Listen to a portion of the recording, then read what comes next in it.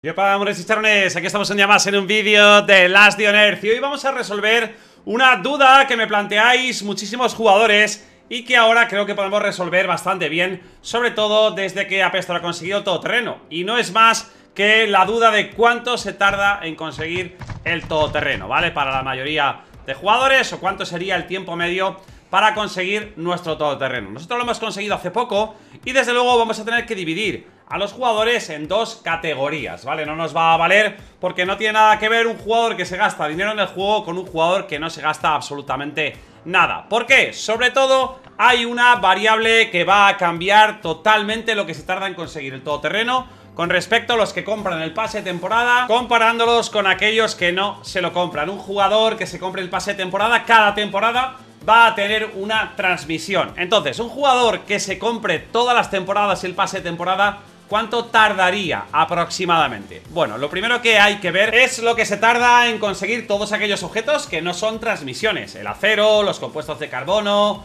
estas partes de motor, las bombonas, los filtros... Bien, si somos un jugador como Apestor que juega más o menos unos 5 días a la semana, cada día juega entre hora, hora y media aproximadamente, esto, todo esto hemos tardado unos 6 meses en conseguirlo. Así que ya vosotros podéis medir si jugáis aproximadamente el tiempo que juega Apestor Obviamente hay que jugar variado, ¿vale? Hay que ir haciendo cosas para poder reciclar, para que nos den cobre y acero. Hay que ir al búnker alfa para conseguir las partes de motor, los filtros Estas ruedas dentadas, el laboratorio también nos viene muy bien. Obviamente el búnker bravo para conseguir las bombonas y las baterías del todoterreno son las mejores soluciones, pero ahora tenemos el evento, por ejemplo, el búnker bravo es mucho más fácil, el evento del laboratorio también nos va a dar muchos compuestos de carbono y aparte filtros, el, búnker alfa obviamente es una de las mejores zonas para conseguir también eh, estas cositas, si hacemos un juego variado que nos vaya dando eh, todos estos recursos, todas estas piezas que nos van haciendo falta, aproximadamente en 6 meses, que es lo que ha tardado Pestor, si jugáis ya digo, una horita y media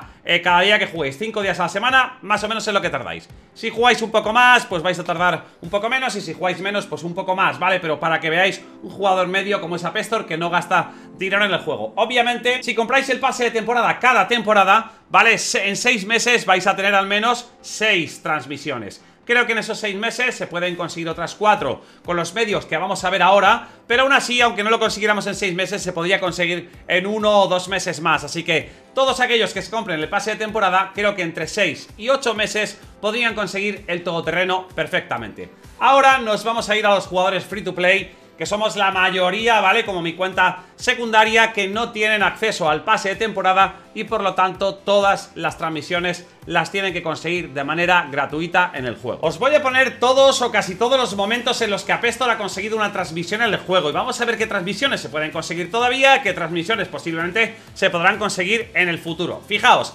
esta creo que es la primera que consiguió porque es cuando Apestor empezó a jugar. Temporada 15 creo que fue algo así. Fijaos, regalaron una transmisión. Durante esa temporada directamente la regalaron. No hubo que hacer nada. Simplemente acceder a un cofre que había en la parte de fuera, ¿vale? Y transmisión eh, gratis, ¿vale? Que se llevó a Pestor y cualquiera que jugaba esa temporada se la pudo llevar. Obviamente esta transmisión no se va a poder volver a ganar. Esta temporada no va a volver, ¿vale? Pero se van a ganar más transmisiones en el futuro. Kefir va sacando maneras de ganar transmisiones de manera temporal, ¿vale? Y algunas están en el juego de manera permanente. Así que esta es cierto que Apestor ganó esta transmisión, no se puede volver a ganar, pero saldrán más transmisiones de este tipo en el futuro. Precisamente la máquina traga chapas es una de las maneras de conseguir transmisiones de manera permanente, todos los días del año, ¿vale? Se pueden ganar aquí transmisiones. Es cierto que Apestor en la máquina tragachapas ha tenido muy mala suerte. De las 10 transmisiones que necesitamos del todoterreno, solo he conseguido 2 en la máquina tragachapas, ¿vale? Y eso durante un año y medio, bueno, más de un año y medio, casi dos años,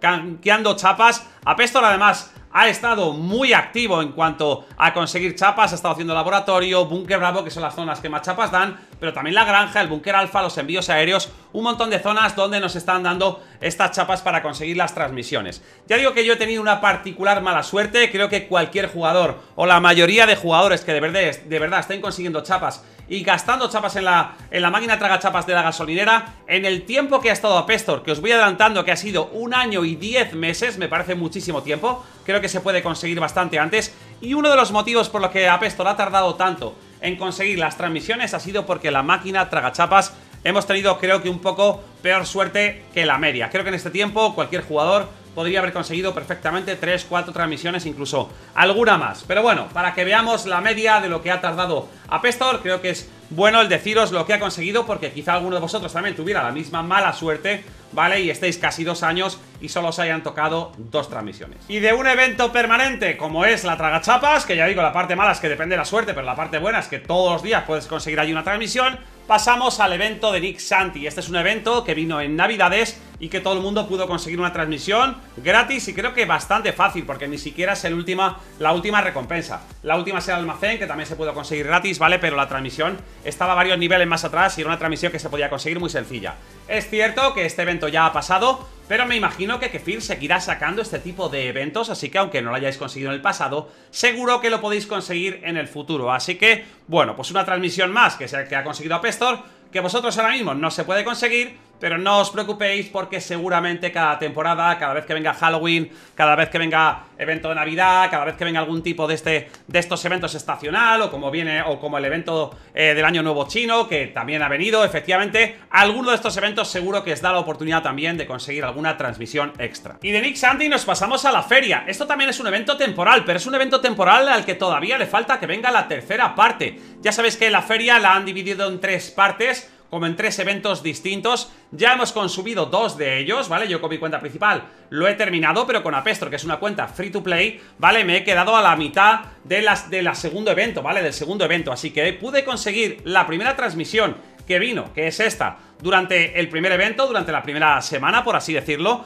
pero todavía falta el de la segunda. Igual que aquí tenemos una transmisión de recompensa en la primera semana del evento, ¿vale? En la primera, en la primera parte de este evento, en la segunda parte hay otra transmisión. Así que yo, a pesar de que con Apestro ya he conseguido 10 transmisiones, todavía podría conseguir, o podré conseguir cuando venga esta tercera semana de, del evento, una segunda transmisión. Y ojo, no descarto que en la tercera semana, en el tercer evento, nos den otra transmisión adicional también, ¿vale? Así que sería otra posibilidad de conseguir otra transmisión adicional. Desde luego eso no lo voy a tener en cuenta porque no sabemos cuándo va a venir, no sabemos si de verdad nos van a dar otra transmisión adicional, pero fijaos como estos eventos, lo que decía con Nick Santi, estos eventos de manera que vienen de manera temporal, pero van saliendo, ¿vale? De manera frecuente también y nos van trayendo transmisiones como recompensas que se pueden conseguir de manera gratis para todos los jugadores, pero por supuesto, cuando vienen estos eventos hay que dar la caña para no perder estas transmisiones. Justo hablábamos de esto, fijaos, otro evento temporal también, el de, el de Nian, ¿vale? Bueno, el, el del Año Nuevo Chino, el que nos trajo también otra transmisión, aquí la tenéis, ¿vale? También con muchísimas recompensas.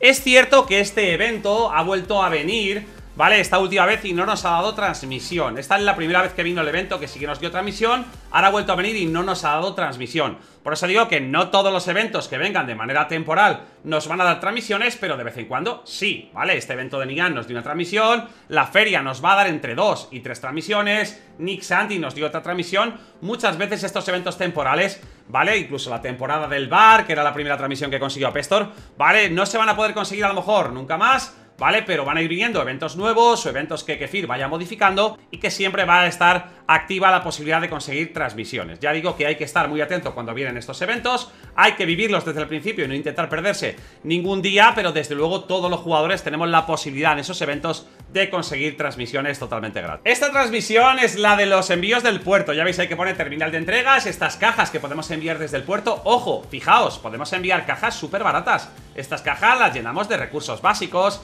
esta de herramientas la llenamos pues con martillos, llaves inglesas, eh, cinta aislante, cosas bastante sencillas, no hace falta eh, gastar, hacer un gran gasto, ¿vale? Fijaos que yo consigo una transmisión Creo que todo el mundo, o casi todo el mundo que hace o que ha estado haciendo envíos muy a menudo ha conseguido una transmisión aquí. Creo que Kefir tiene programado que todo el mundo consiga una transmisión en los envíos del puerto cuando haces un determinado número de envíos. Con todo el mundo que hablo, eh, todo el mundo que de verdad ha hecho bastantes envíos aquí en el puerto ha conseguido una transmisión sin ningún problema. Creo que es algo bastante sencillo hacer, que todo el mundo puede hacer. Y además, ya digo que es que además estas cajas, hacer estos envíos, es súper barato, porque las cajas básicas ¿vale? Las cajas más básicas de todo simplemente nos piden madera, nos piden piedra, nos piden tela gruesa, nos piden recursos súper básicos que podremos farmear en una zona verde. Ya digo, esta caja que he hecho el envío con la que me ha tocado la transmisión, Es una caja un poquito más avanzada, pero sigue siendo una caja sencilla, que se puede llenar, ya digo, con martillos, creo que lleva cinta aislante, lleva cosas también muy, muy, muy básicas, muy sencillas, ¿vale? Así que os recomiendo que si no os ha tocado nunca una transmisión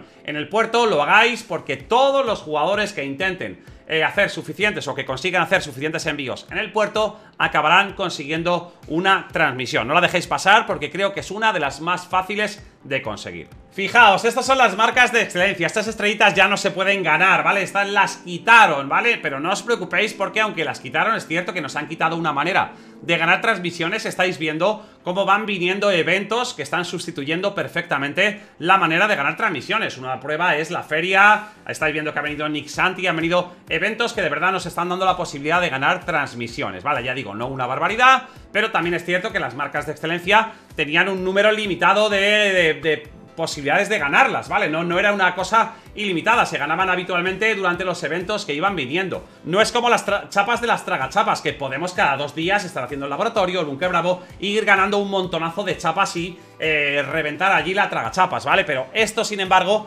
era más difícil de acumular estas marcas de excelencia porque solo la daban una determinada cantidad de eventos, esos eventos ya sabéis que venían pues solo una vez cada temporada, ¿vale? Así que no era demasiado fácil acumular, aunque desde luego era una posibilidad más de conseguir una, una eh, transmisión aquí en esta marca de excelencia. El que lo hayan quitado, ya digo, no es demasiado traumático porque han añadido Cosas que han suplido perfectamente la posibilidad de conseguir transmisiones en el juego. Y creo que esta es la mejor de todas, el centro de transporte. Fijaos, el centro de transporte, además no hace falta reparar nada, podemos venir. Es súper fácil, este cofre suele estar súper accesible para venir, ¿vale? Es cierto que eh, yo he tardado nueve cofres en que me den esta transmisión. Hay gente que está tardando más o menos 9, 10, 12 cofres en conseguir una transmisión aproximadamente por la gente que ha hablado. Es cierto que también hay gente que ha abierto 20 cofres y no le han dado, hay gente que le han dado una transmisión en el segundo cofre, pero por lo que estoy viendo, por lo que estamos hablando, yo creo que a los 9, 10, 12 cofres aproximadamente puede ser que nos den una transmisión. No es una frecuencia demasiado tardía, no es decir que tardemos una barbaridad, me parece de hecho, si de verdad se mantiene en el tiempo esa frecuencia, el conseguir una transmisión cada 9, 10, 12, 15 incluso, cada 15 cofres, tampoco sería una locura. Tened en cuenta que yo en la Tragachapas, en un año y 10 meses que he tardado con el con Apestor en conseguir el todoterreno, solo he tenido dos transmisiones, es decir, más o menos una al año, me parece una frecuencia súper, súper baja y sin embargo en el centro de transporte la primera transmisión creo que ha sido a los 2-3 meses de haber salido el centro de, de, transporte. Y eso que ya digo, que esta caja no la dan siempre, hay veces que dan esta caja y otras veces dan la caja de materiales para el asentamiento. Así que creo que la frecuencia si se mantiene, creo que es suficiente, creo que esta zona suple genialmente, sufre, sufre, suple de maravilla las marcas de excelencia ¿vale? Eh, que nos podían dar transmisiones, creo que aquí se pueden sacar más transmisiones y puede suplir muchísimo la mala suerte que podamos tener en otras zonas como la tragachapas, etcétera. Pero ya digo, aunque alguno de esos eventos que han estado viniendo temporales ya hayan pasado y ya esas transmisiones no se puedan conseguir, no os preocupéis porque más eventos temporales seguirán viniendo de igual forma en el futuro. Y vamos a por la última de todas, ¿vale? No la última que consiguió Pestor, que la última fue en el centro de transporte, pero sí la última que me faltaba por mostraros, y es en el asentamiento. Por eso os digo que el asentamiento es tan importante, ¿vale? Tan necesario el irlo subiendo, aunque sea poquito a poquito. Apestor va poco a poco, pero cada día se pasa por aquí, pone unos pocos materiales, construye alguna cosa, intenta subir algún nivel de algún mercenario, poquito a poquito. Os va a llevar esto 5 minutos al día, menos de 5 minutos. Venid aquí, recoger estas recompensas que nos dan diariamente, ¿vale? Con esto ya nos dan estas chapitas, ¿vale? Encima ya veis que nos están dando un montón de materiales Vienes aquí, no te hace falta incluso que gastes materiales de fuera, simplemente vienes con estos propios materiales que te dan diariamente, vas construyendo el asentamiento poco a poco y puedes ir perfectamente consiguiendo las recompensas. Pero es que fijaos, en el nivel 39 del primer mapa tenemos otra transmisión. Y esto sí que es un evento permanente, que va a estar aquí siempre, ¿vale? Si vosotros no habéis conseguido esta transmisión y vais a tardar 3 meses, 6 meses, 9 meses, un año en llegar aquí, ¿vale? Aquí va a estar esperando esta transmisión, así que hay varias transmisiones así en el juego que os están esperando, como la del puerto, como esta. Varias es verdad que están temporales, pero muchas que están aquí permanentemente esperando a que las recojáis. Y simplemente lo único que tenéis que hacer es ir aprovechando cuando vayan viniendo esos eventos temporales, ¿vale? Como el de Nick Santi, como la feria, etcétera, etcétera, para ir recogiendo esas transmisiones que os faltan. Mi reflexión final, Apestor ha tardado un año y diez meses en conseguir las transmisiones, me parece una barbaridad. Tened en cuenta dos cosas, la primera, Apestor no es un jugador que juegue demasiado, es cierto que jugamos una hora, una hora y media al día, ¿vale? Pero solo cinco días a la semana, ¿vale? El resto del tiempo no juego. Tened en cuenta que además solo juego en directo. Hay muchos de vosotros que a lo mejor jugáis un ratito por la tarde, una hora, un par de horas, vale, a last day, pero luego es cierto que a lo mejor a lo largo del día, pues entras a reponer los bancos de trabajo, a reponer el reciclador. Eso te va a hacer que te acelere también muchísimo el progreso del jugador. Yo todo eso no lo hago con Apestol porque todo lo quiero mostrar siempre en directo y no juego fuera de cámaras nada. Así que ahí siempre vamos a tener un desarrollo un poquito más lento. Creo que Apestor, si hubiera jugado como un jugador normal, que jugase también eh, a varias horas del día reponiendo bancos de trabajo, etcétera, hubiera avanzado un poquito más rápido. Y luego la segunda cosa que tenemos que tener en cuenta es la mala suerte que he tenido con las transmisiones. De verdad, en un año y diez meses, el conseguir solo dos transmisiones me parece muy poco me parece una suerte muy por debajo de la media. Con lo cual, teniendo en cuenta estos dos factores, creo que un jugador que pueda jugar una hora, entre una y dos horas, todos los días de la semana, ¿vale? O cinco, seis días, siete días a la semana, podría conseguir el todoterreno de manera bastante consistente entre un año y un año y medio, ¿vale? Ese me parece un plazo bastante razonable para un jugador que juegue de manera variada, ya sabéis, intentando hacer las zonas que nos van haciendo falta, el búnker bravo cuando venga el evento, el laboratorio de vez en cuando, el búnker alfa, el alfa siempre que se pueda, todas esas zonas que nos van dando todas las piezas del todoterreno. Así que ya sabéis, si sois un jugador que acaba de empezar ahora mismo y sois un jugador free to play, que no se gasta dinero en el juego, pues pensad que el todoterreno lo más normal, si tenéis suerte, si seguís los consejos para avanzar rápido que doy en los vídeos, ¿vale? Entre un año y un año y medio tardaréis en conseguir el todoterreno. Si sois un jugador que lleváis más de un año o un año y medio e intentando conseguir el todoterreno, ya jugando en el juego y no habéis conseguido el todoterreno, tenéis que analizar un poco lo que estáis haciendo. Podéis pensar, efectivamente, si habéis conseguido pocas transmisiones en la tragachapas como le ha pasado a Pestor, bueno, puede ser un poco de mala suerte, si no habéis conseguido ninguna en el centro de transporte, a pesar de que la hayáis hecho 20 veces, vale, puede ser un poquito de mala suerte, pero también tenéis que empezar a analizar si de verdad estáis haciendo todo lo que podéis por conseguirlo, porque la parte más difícil para el todoterreno son las transmisiones. Ya os he mostrado todas las maneras que ha habido más o menos hasta ahora de conseguir estas transmisiones, o al menos las maneras que ha tenido Apestor, ¿vale? Y tenéis que empezar a analizar si estáis haciendo todo lo posible por conseguir el todoterreno uno de los logros más importantes del juego y que nos va a dar un salto de calidad tremendo, porque nos va a multiplicar muchísimo la capacidad de almacenaje de nuestra base. En fin, chicos, espero haberos hecho un resumen bastante divertido, interesante, de lo que ha tardado a Pestor en conseguir el todoterreno, de lo que puede tardar un jugador normal, ¿vale? Ya sabéis que cualquiera que se aleje un poco de esta media que estamos hablando, pues tardará un poquito más o un poquito menos, pero cada uno puede ir haciendo perfectamente sus cuentas. Como ya os digo, chicos, si os ha gustado el vídeo, dejadme un buen like, compartidlo con todos vuestros amigos y ya sabéis que aquí lo más importante es supermenarse, merecerse.